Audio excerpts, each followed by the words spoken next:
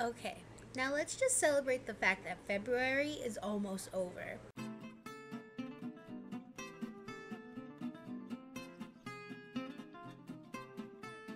The fact that February is almost over means hmm, three things. One, I didn't go to the hospital. Two, because the show that I was helping out with is closed, I have extra time. And three, February is over. Those are the three reasons I am very happy that February is coming to an end. But I, just like I expressed in the video of why I did not like February, where you can see here, right there on the mask, there was just a lot of bad luck in February. I feel like a lot of negative energy that is just centered around the month of February. From the last time I talked to you about February, it has just been a horrible month.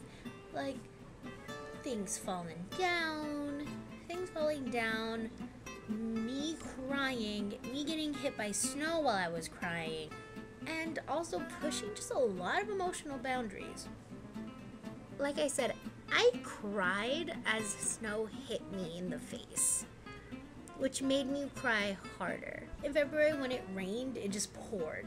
And on top of all the craziness that I had to deal with in my classes, I was assistant stage managing a show, which took out the rest of my time. On top of the assignments, that didn't help either. But in the long run, my papers were turned in, the show went wonderfully, and I survived. I guess you can say that Febru- the end of February is probably my favorite time of the month. Okay, that didn't sound right.